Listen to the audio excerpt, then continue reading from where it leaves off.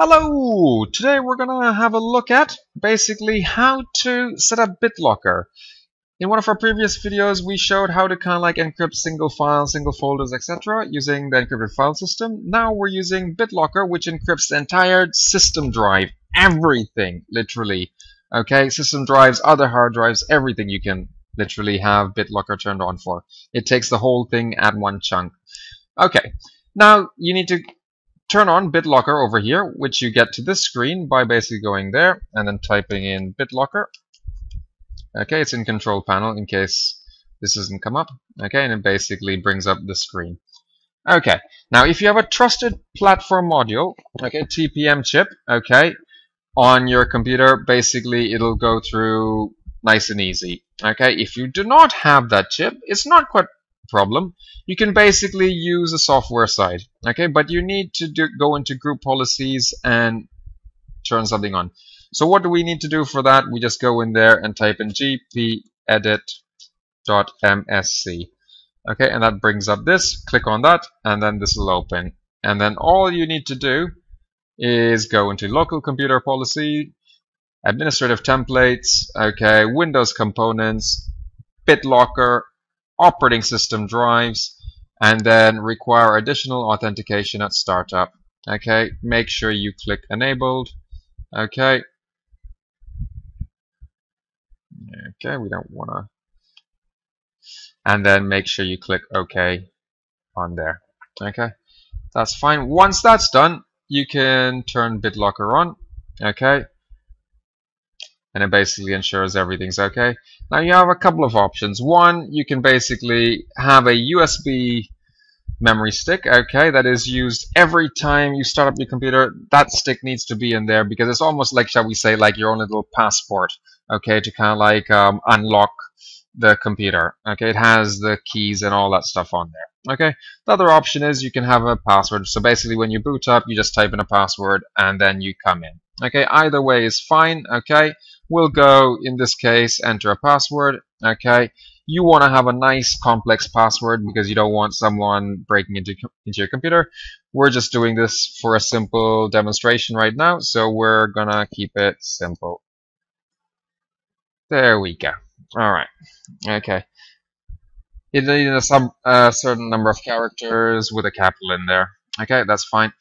Okay, now you need to back up a recovery key because basically your entire computer is going to be encrypted. Every single file, even shall we say that little Word document from yesterday. Okay?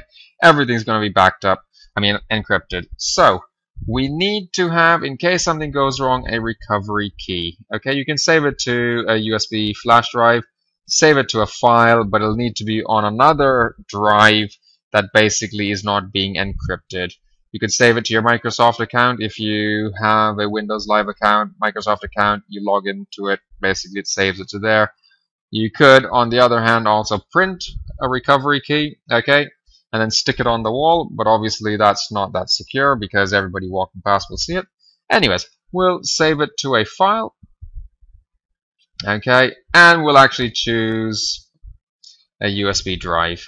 So that's all happy. That's saved. Click next.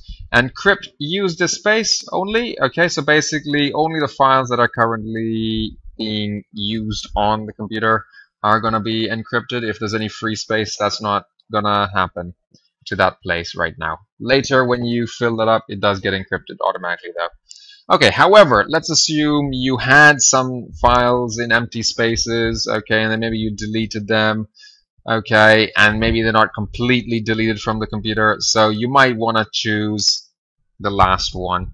Okay for a completely new computer completely new system you might want to choose the top for something where you might have something that's appeared to be deleted but is not deleted you might want to encrypt the entire drive but that's a lot lot slower. Okay we're gonna go with the first one. Click next okay run BitLocker system check. That's definitely nice and good. Okay. The computer will restart now. Okay, we'll come back.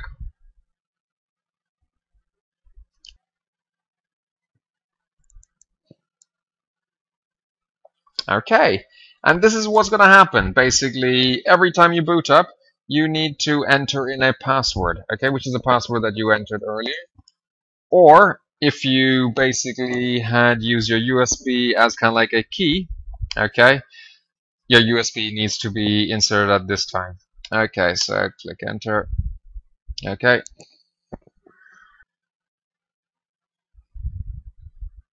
Okay, and after it restarts, we just go to here, type in BitLocker again, B-I-T-L-O-C-K-E-R, okay, and then basically click on it in control panel, okay, and then it will give us a status of what's happening. Okay, basically it says BitLocker encrypting, okay, it, as mentioned, it does take quite a decent amount of time.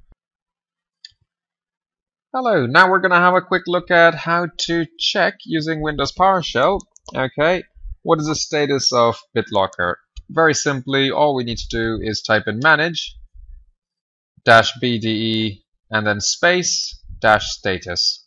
Click enter and it'll tell us what's happening with our drives. Okay, for example, our C drive, we're encrypting it. It's currently being encrypted. It's at 89.7%. It's using AES-128 encryption advanced encrypted systems.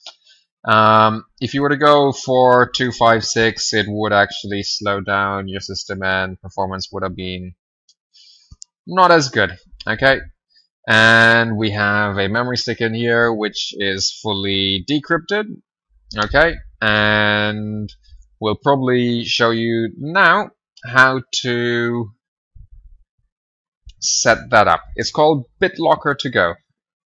A when our computer is fully encrypted, okay, our hard drives, fixed disks, okay, it'll say BitLocker on for all the fixed disks, and that's done, providing we've enabled them.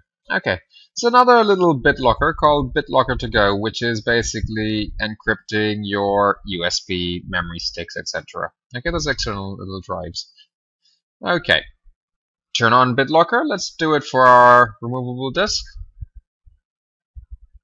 Okay, make sure you don't take it out and plug it back in because things can really, really go wrong.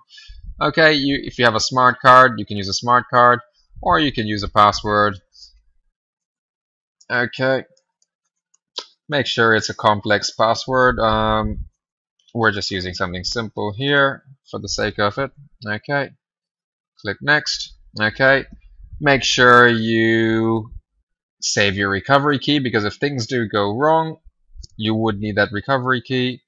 Save to a file. Okay, we'll save it in this case. The desktop, not a good place to save it, but we're just doing it for the sake of a demonstration. Okay. Once again, you have the choice full disk or only the use space. Okay, we're going with just the use space only. Okay, it's faster. Click there, start encrypting. We don't have too much on the thing, so it should literally take a few seconds.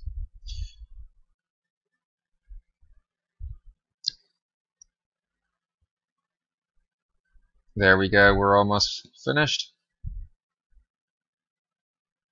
Okay, that's perfectly done. So basically, BitLocker is now on for removable disk, or this one only, and basically the fixed drives that were on the computer. Okay, you can turn on auto unlock if you want to. That might be quite nice in case you forget passwords, etc. Where it's remembering it for this computer. Okay, and for that drive. Hopefully all this has helped. Thank you for watching.